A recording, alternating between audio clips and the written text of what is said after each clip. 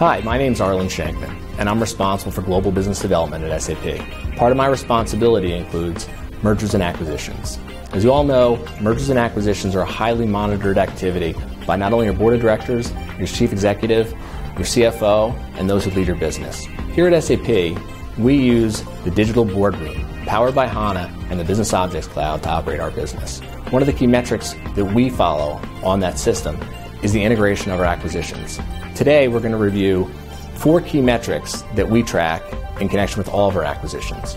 First will be revenue, the second will be cost reduction, the third will be employee retention, and finally, we'll review where we are with working capital and the return on our investment. M&A has become a highly strategic initiative here at SAP. We spent more than $25 billion in the past 10 years in acquisitions, which have become a key part of our ability to grow our core business. We use this to track the key metrics of our acquisitions. So here in the digital boardroom, you can see the four key metrics that I had mentioned: personnel retention, cost reductions, working capital, and revenue generation.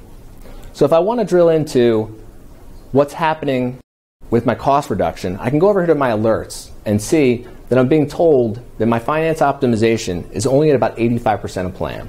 So if I want to drill into this, I can hit my alerts and I can go into finance optimization. So coming over to this screen, you can see that within finance optimization, I can track my overall costs according to plan, my supply chain costs, my HR costs, and my finance expense breakdown by each area. And if I look at these costs, what I see here is, is that my shortfall of about $20, $25 million in finance is primarily a result of exceeding costs in my supply chain offset a bit by, by some shortfall in my HR, but primarily driven by my costs in my supply chain. So now that we've had a chance to evaluate how we could reduce cost in the acquired business, let's take a look at another key metric, personnel retention. So we can drill down here and take a look as to how we're doing across both businesses. When we acquired this business, it was clear to us that we had to integrate it into an existing business that we had. So we wanted to make sure we not only tracked our internal retention in the operating business, but also in the acquired company. And what you can see here is that in the, in the existing business, we're above plan. We've had higher than expected retention. But in the acquired business, we're about six percentage points lower than the attrition rate we had forecast. So the question for us will be, why is that happening?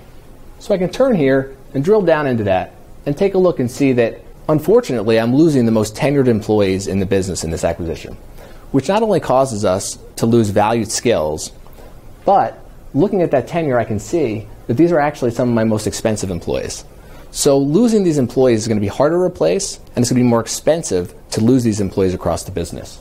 So now what we can do is we can gather this data and we can put together a predictive model to help us understand not only why people are leaving, but what we can do about it and how we can have these people stay and get back on our plan to ensure that we keep the talent that we acquired in the business. So now that we've had a chance to examine our personnel retention, let's drill into our cost reduction. And let's take a look at what's driving our performance here. Here I can see a breakdown of my spending across finance, supply chain, and HR.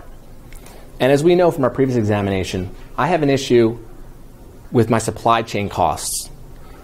And I can't control my supply chain costs in my existing business, but in the acquired business, I have a pretty strong plan to reduce those costs.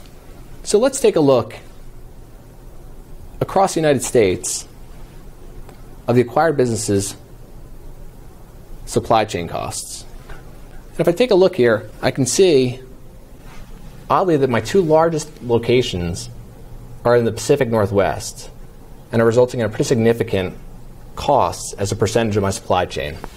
So I can drill down here and see if I can isolate these costs here in the northwest part of the country to determine what's actually driving those costs. As you can see, the digital boardroom is an incredibly powerful tool to operate your business. Here at SAP, we operate our company by utilizing the digital boardroom. This tool will help you transform the way you operate your business by collaborating across business lines, but also driving governance through the digital core of your company so that you can operate in real time with the most powerful technology and analytical tools that you can use today to grow and ensure your success across your business.